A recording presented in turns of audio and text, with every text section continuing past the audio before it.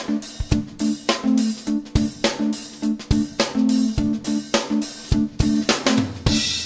morning to you, welcome. And uh, hot off the press, I thought I'd give you a little bit of an update as to the SSE situation that's ongoing.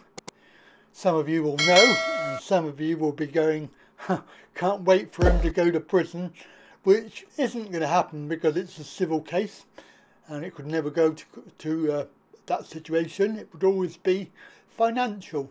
Um, at the moment, we've got this current position, which is last year SSE wrote to me and said the prices are going up. If you're not happy, then feel free to cancel your account and go somewhere else.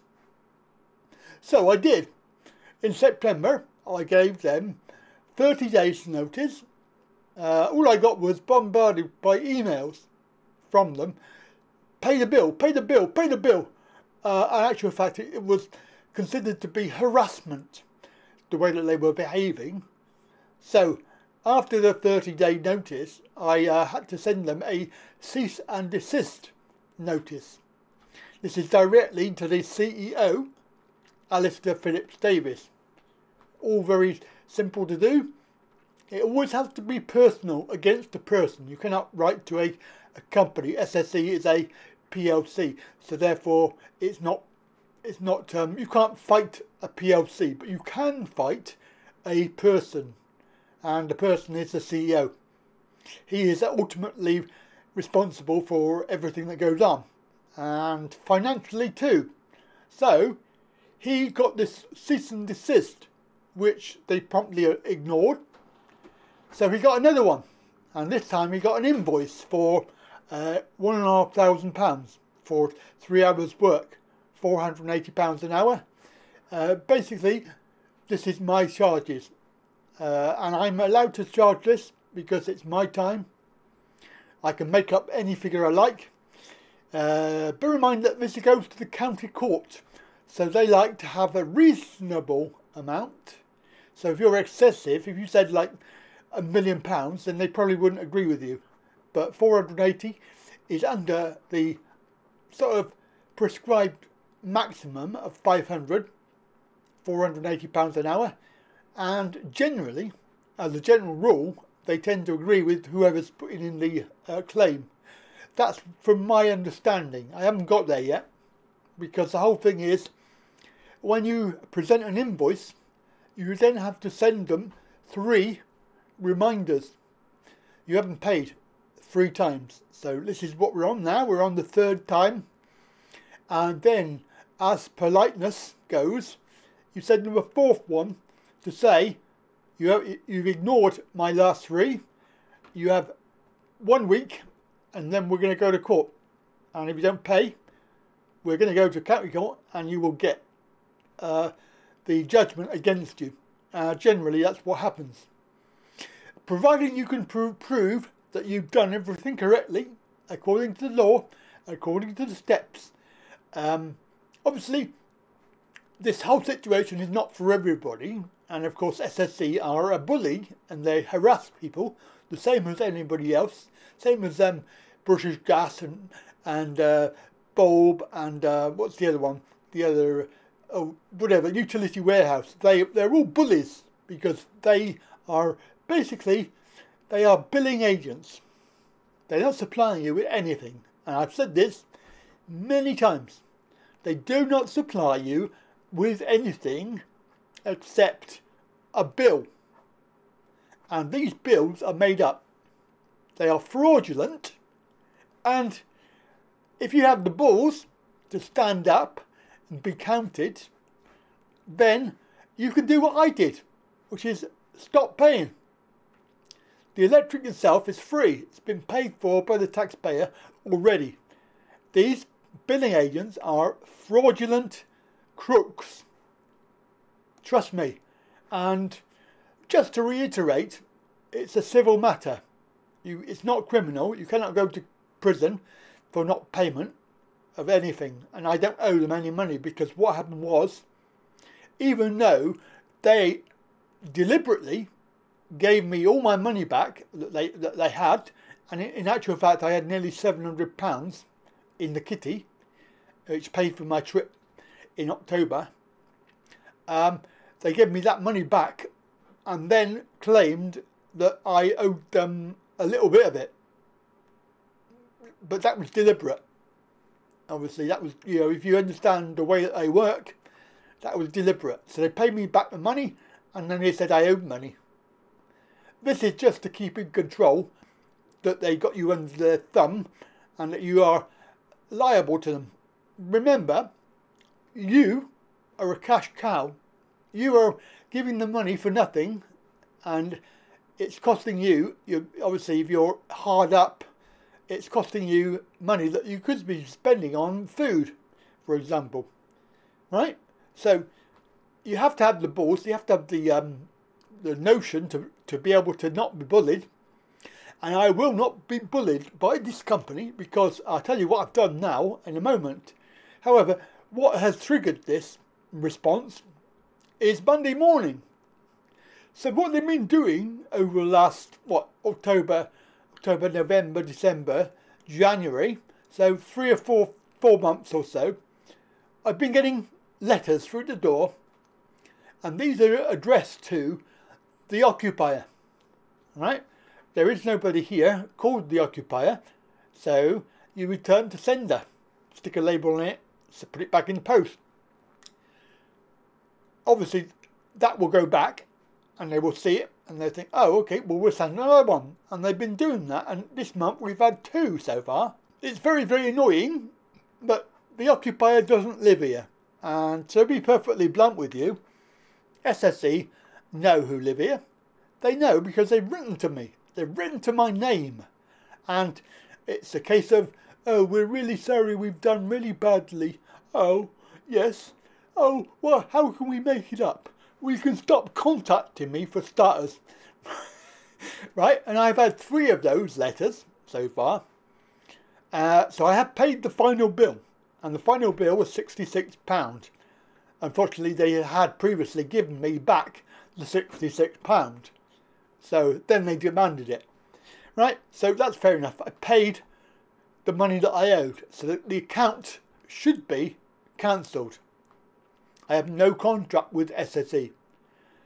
And as you know, no contract with anybody means that my electric is free.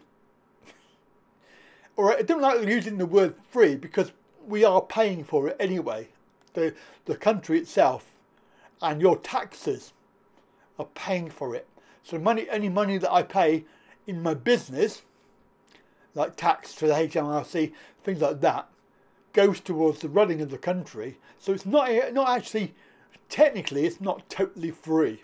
All right, so don't get the idea that it's for nothing. You know, it is that literally free. It's not totally free.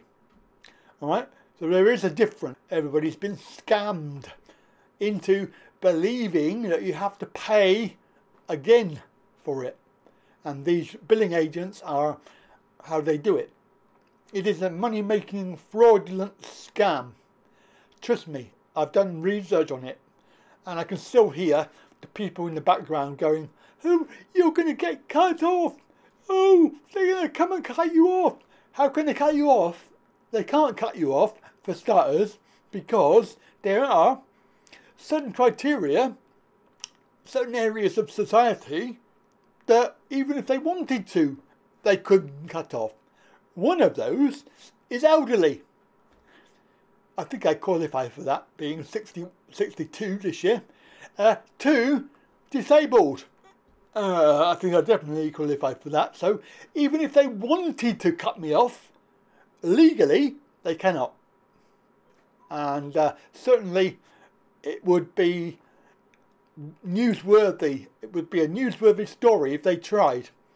And certainly there is a story in, in the current news at the moment of uh, the British Gas compounding the issues with elderly people by forcibly breaking in, which again they cannot do. And uh, certainly, as you've cancelled the contract, they have no claim over your property. They just will not let go because of your cash cow status. Why would they let you go? You're paying £200 a month to them for nothing. If somebody was paying me £200 a month, I wouldn't want them to go either. I would do everything in my power to keep them paying because that's what I need. I need money. Right? So that's what they're doing. They're, they're using you as a cash cow. So let's come on to the idea that we've had these, uh, the occupier letters, which have gone back. And I would say that I probably, they started during the period of the cancellation notice. So the 30 day period where I sent three letters notifying them and giving them meter readings. So they've had their meter readings. They did not bother, and that's their problem, not mine. They did not come out to check. That's their issue. The contract now is cancelled. They have no rights. Basically, I could be with somebody else. Obviously, I'm not, but I could be. And they obviously have this system that they know by the serial numbers. They can do a search on the serial numbers of the meters in a database and it tells them who you're with. And it's a scam, all right? They're all working together. They're all working together in collusion to keep you hoodwinked and cash cow. Anyway, Monday, I was in the bathroom and I heard my cupboard door. I thought, ah, what's that? Opened the bathroom window and I saw a bloke there. And I'll show you the photo. This was my door cam that took the picture. He claimed to be from SSE to read my meter. yes, right, you know what I said. I said, I've got no contract, go away. He said, oh, really?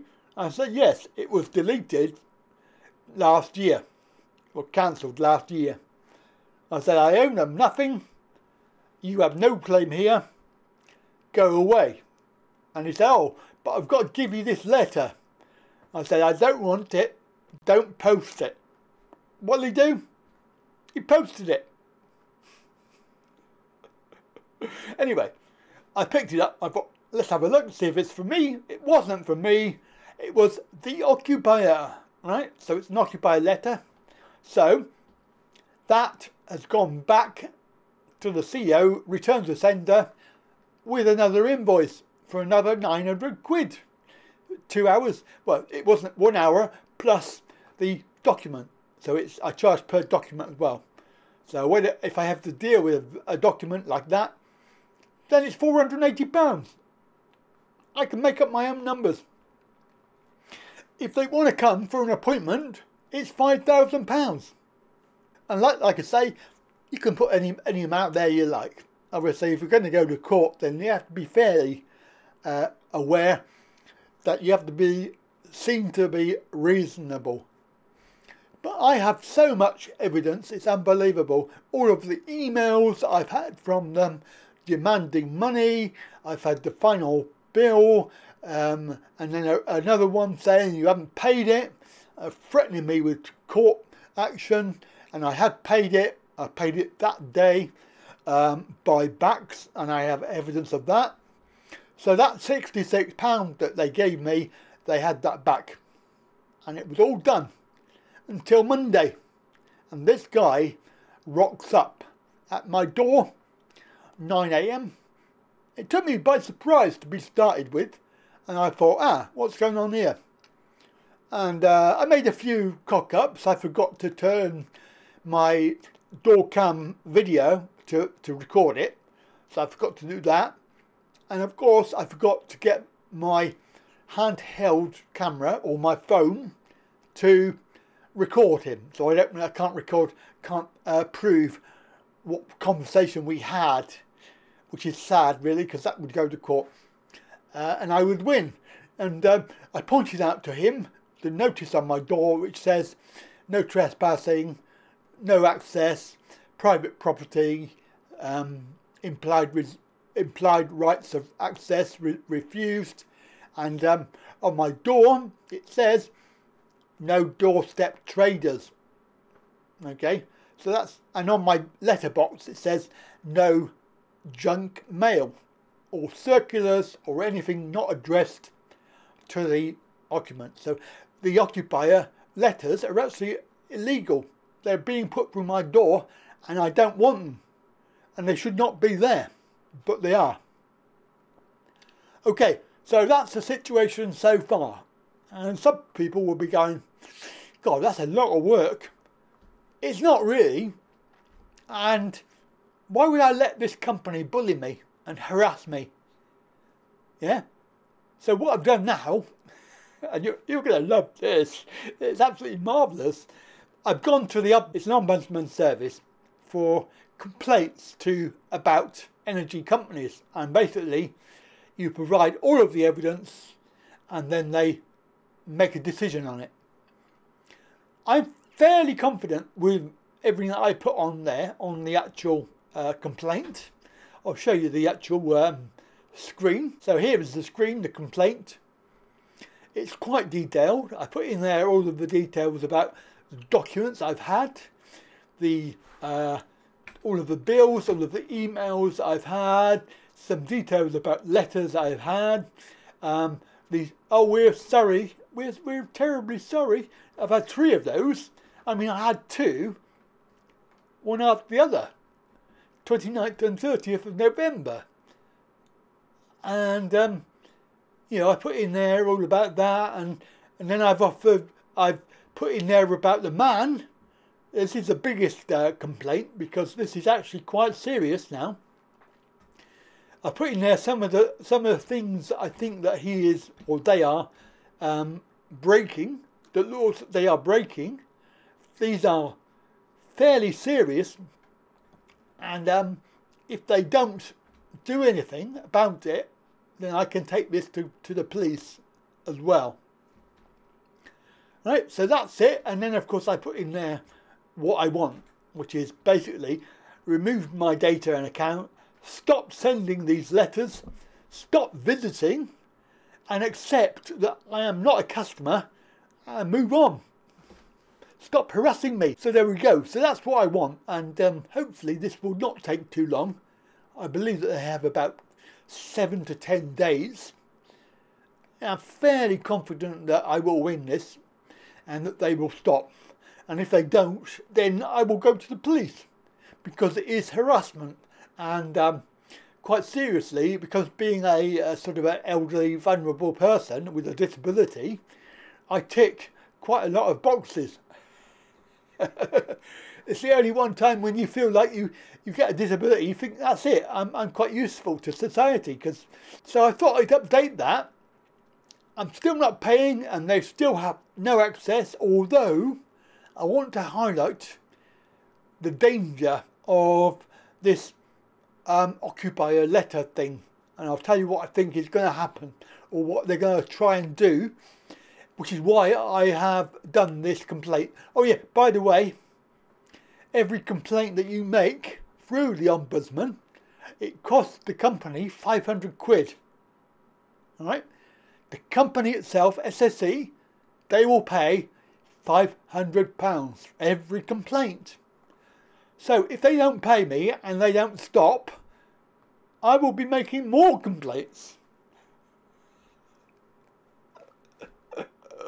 I love it. I think it's really fun. I think I'm just having the best time of my life. Now, if they pay me the uh, invoices that I've paid, that I've sent them, I will get about two grand for that. All right, so it's about two grand. And I think that's going to come in handy for my next Thailand trip. oh, it's wonderful. It really is very, very amusing. I'm sorry, I, I, I know that some people out there will be going, pulling their hair out, going, "Oh, I don't, I don't know what you do. I, I think you're in trouble. I think you're going to be in trouble." Remember, okay? Remember, remember my video regarding fear. All right?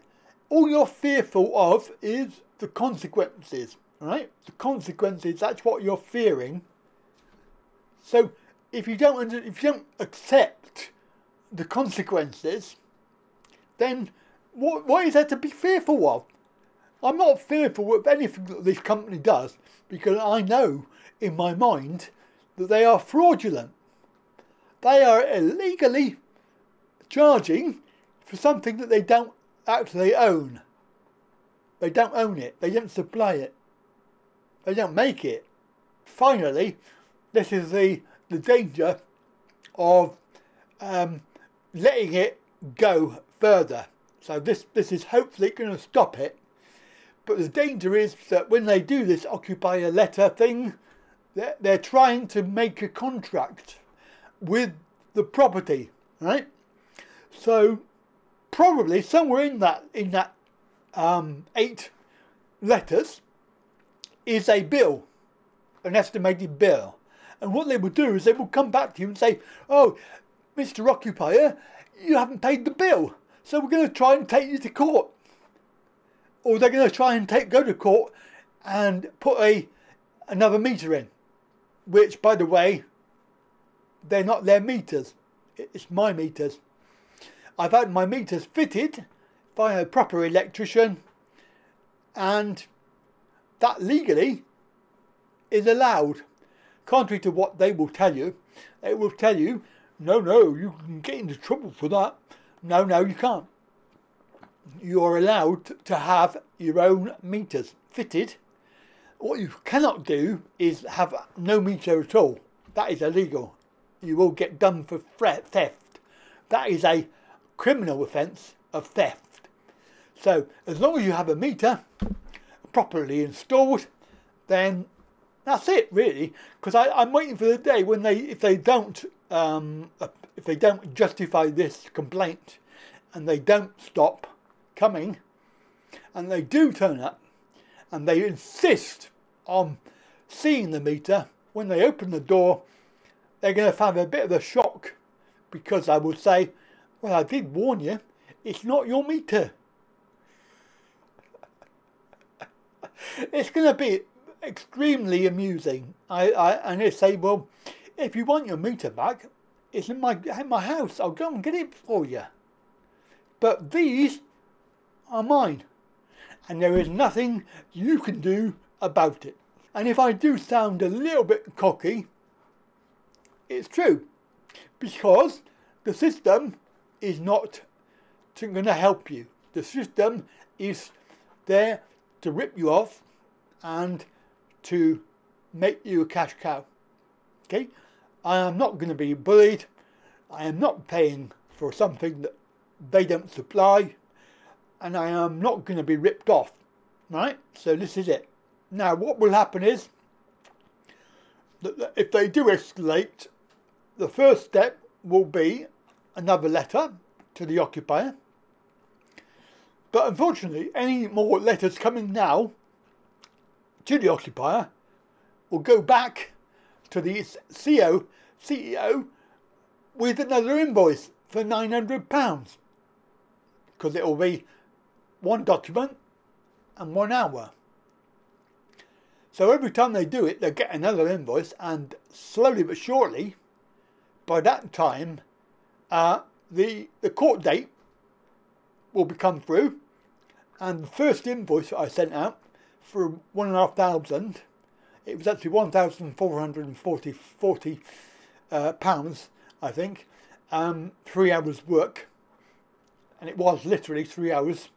Uh, that will go to court, and they will know that I am being serious about this. Was it cost to go to court? Well, I believe it's 40 quid, which you can charge for that. So you can actually add that on the end.